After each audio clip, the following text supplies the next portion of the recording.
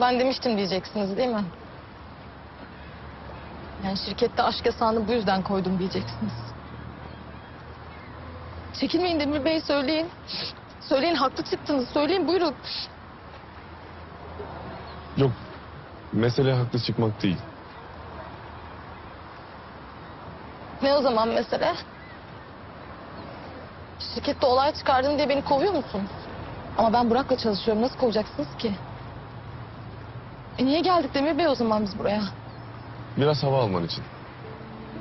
Şirketin ortasında öyle herkesin içinde sinir krizi geçirmenin bir faydası olmayacaktı çünkü. Ah Bora ya. Ne hale düşürdün beni. Ya ben asla, asla Bora'nın bana böyle bir şey yapabileceğini tahmin etmemiştim biliyor musunuz? Neyse. Özel hayatımı dinlemek istemezsiniz tabii. Gerçi anlatılacak bir şey de yok zaten. Hayallerim yıkıldı o kadar.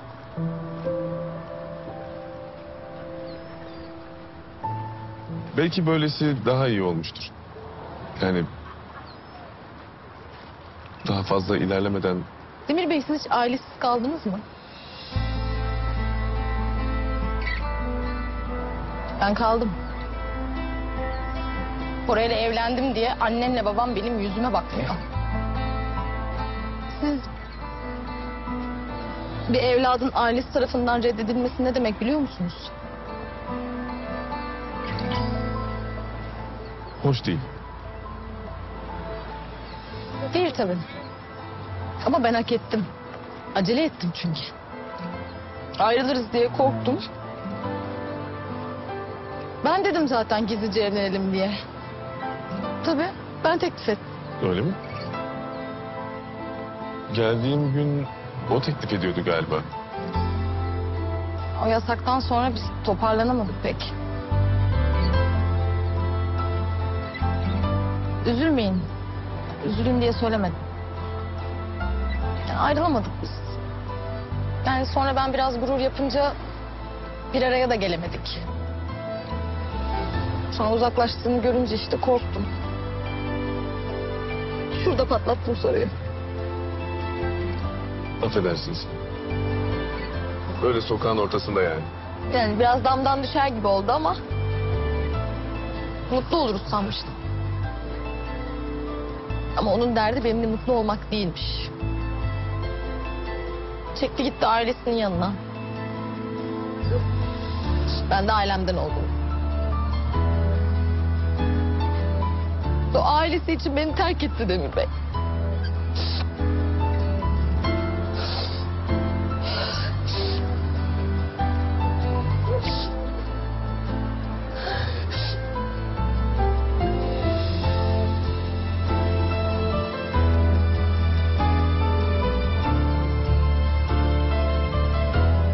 Buyurun Merve Hanım.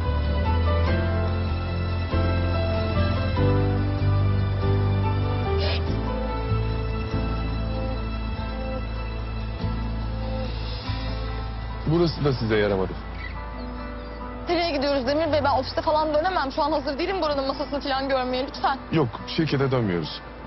Siz gelin benimle.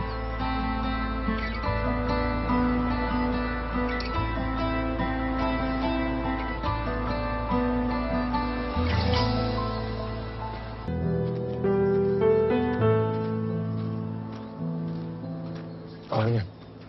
Bir saniye bekler misin? Hemen geliyorum.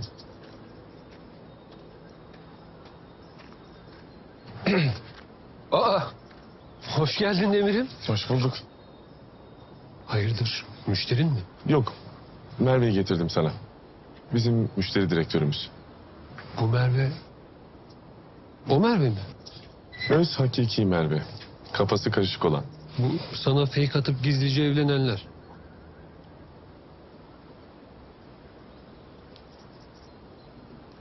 Oğlum niye anlatıyorsun kızı? Hayda. Yani Vedat hemen de beni suçlu çıkardın. Bayılırsın. Oğlum benim konuyla hiçbir alakam yok. Kocasıyla kavga etmişler. Şirketin ortasında sinir krizi geçirdi kız. Ben de alıp buraya getirdim. Buraya getirdin. Oğlum burası terapi merkezi mi? Bünyamin'e götürseydin. Aman diyeyim Vedat. Aman diyeyim. Bünyamin Bey'i hiç karıştırma. Zaten adamdan yeni kurtulduk. Tekrar başımıza sarmayalım. Bak şimdi sen ne yapıyorsun biliyor musun? Her zaman bana uyguladığın terapi programının aynısını bu kıza uygulayacaksın. Çiçek ektir, toprağa kazdır, iyice yor. Düşünemesin. Bugünü atlatırsa düzelir. Aa. Demir kalpli Demir Erendil'e gel. Kardeşim senin bir özel hayatı iş hayatına karıştırmama kuralı vardır. Ne oldu o ne yapıyor? Vedat'ım sen beni dinlemiyor musun? Kız şirketin ortasında sinir krizi geçirdi diyorum. Dur şimdi. Merve Hanım, gelebilir misiniz?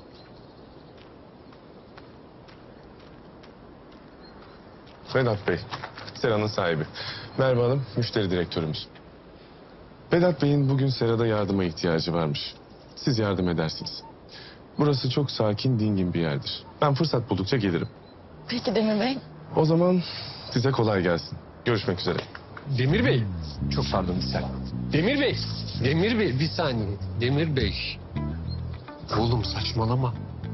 Bu da içli içli ağlayan kalbi kırık bir kadına ben nasıl iş buyuracağım ya? E ya burada da sinir krizi geçirirse? Geçirmez, geçirmez. Sende insanları sakinleştiren, dinginleştiren bir enerji var. Sen halledersin. Ay ben senin. Haydi benim işe dönmem lazım. Bak şirkette çok iş birikti. Halletmem lazım ne olur. Kızın durumu çok kötü. Ya sen ne ara bu kadar vicdansız bir adam oldun ya? Sen halledersin. Hadi.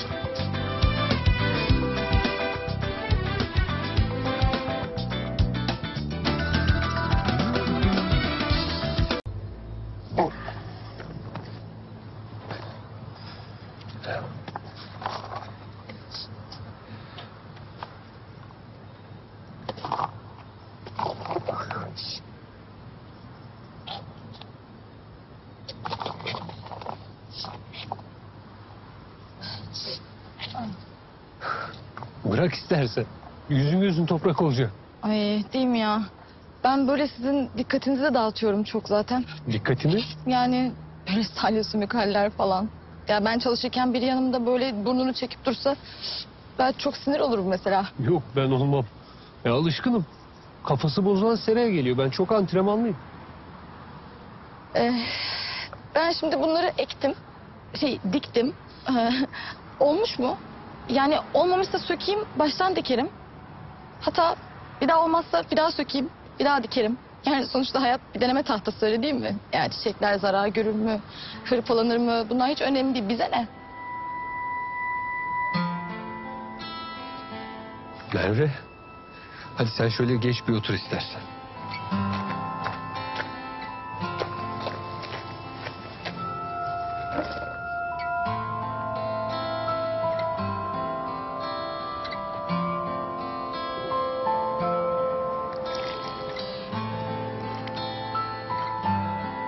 Şunu bir iç önce.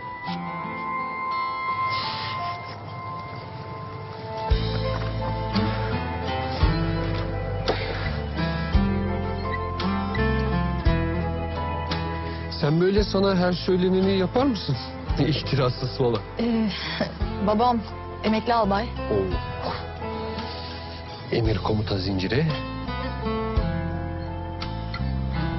Ya ben bu hayatta bir kere kafama eseni yaptım. Sadece bir kere. Onda da ne ailem kaldı, ne kocam, ne de yapacak bir şeyim. Ya babam kuralların insanları korumak için konduğunu söylerdi. Doğruymuş demek ki.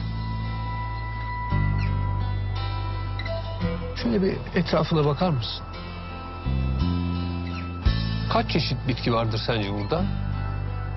Bilmem yani çok herhalde. Çok. Peki sence bu çiçeklerin her biri için geçerli tek bir kural olabilir mi?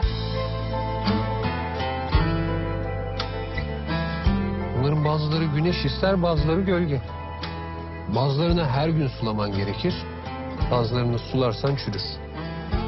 Bazılarını yan yana ekebilirsin, güzel. Ama bazıları yanındakinin köküne dolanır, boğar. Sen şimdi kendi yolunu bulacaksın. Sana neyin iyi geldiğini, senin neyin hayatta tuttuğunu bulacaksın. Başkalarına iyi gelen sana iyi gelmeyebilir. Bu saatten sonra bana hiçbir şey iyi gelmez zaten. Şimdi içinde olduğun şey de pek iyi gelmiyor belli ki. Merve, yanlış saksıda kök salamazsın. Sen şimdi zorla solmak mı istiyorsun? Yoksa yerini bulup açmak mı istiyorsun? Önce ona bir karar ver bence. Anladım. Anladım da bu kadar zor olmamalıydı. Zor. Ama bana kolay bir şey göster hayatta. Değil mi? Merve. Daha çok işimiz var. Bu kadar mola yeter hadi.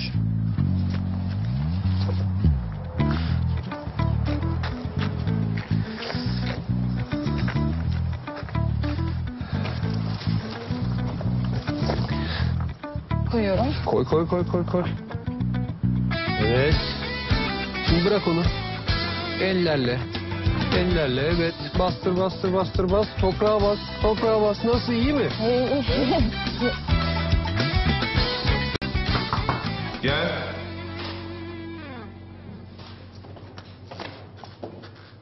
E, Demir Bey, galeri için bazı çizimler yaptım. Bakar mıyız? Ben Merve iyi mi diye sorup çıkacağım hemen. Gel Ayda.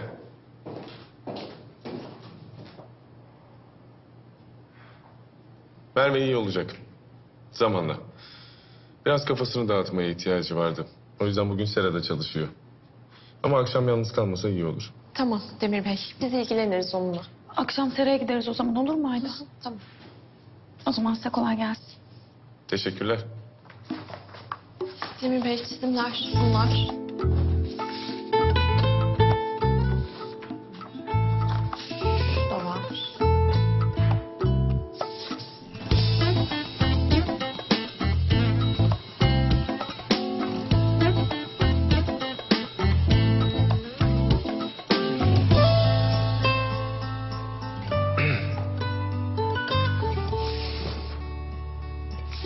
Ayda Hanım, e, burayı niye böldünüz?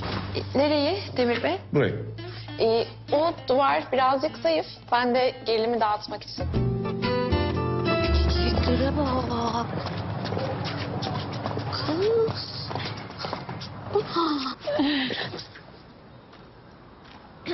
Aa Selin. Burası ne güzelmiş. Öyledir. Aa. Aa, aa, aa, aa. Gördün mü? Neyi? Vedat Bey'in çalışan erkek çekiciliğini.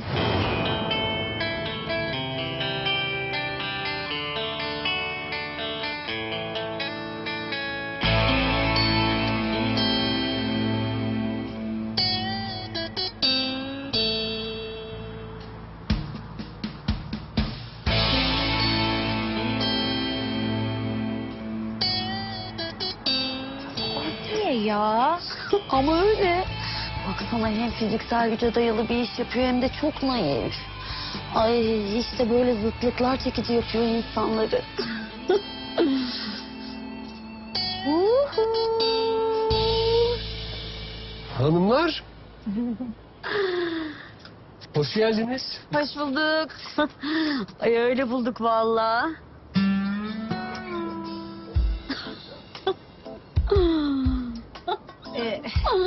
Ee, bizim kız nerede?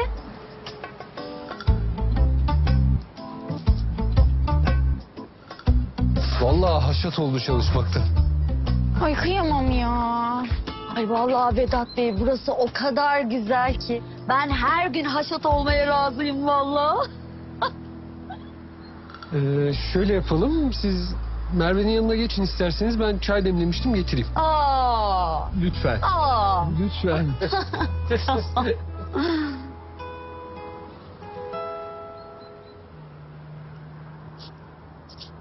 Boncuğum.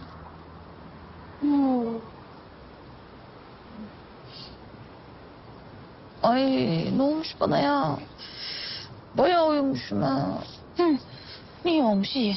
Zaten dün gece hiç uyumamışsın Ayda söyledi. Biraz dinlenmiş oldun. Ah benim boncuğuma nazar mı değmiş?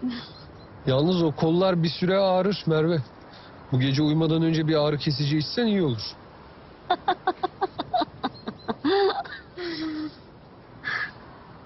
Ama ağrırsa ağrısın ya. En azından kalbimin ağrısını unuturum böylece. Geçecek boncuğum. Geçecek. Merak etme Boncuğum. Bu gece birlikteyiz zaten. E bütün gün Serada Vedat Bey'le de kafa dağıtmışsındır sen şimdi. Akşam eve gidince şöyle güzel bir dedikodu yaparız. Ora falan aklına bile gelmez. Dedikodusu yapılacak bir şey yok ki. Yani bir biz vardık, e biz de ayrılıyoruz. Ofiste dedikodusunu yapacak çift kalmadı resmen. Öyle mi diyorsunuz? E Burak'la Eylül. Ay Azmiye insaf ya. Kadın geleli iki gün oldu. Vallahi yıldırım hızıyla yakıştırıyorsun. Benim aşk görüm var şekerim. Birbirine uyumlu çiftleri şık diye görürüm. E Demir Bey'le seni de öyle gördüm. Burak'la Eylül diyorsan vardır bir bildiğimiz herhalde. Peki Azmiye. Daha fazla video izlemek için kanalımıza abone olabilir. İlk izleyen olmak isterseniz bildirimleri açabilirsiniz.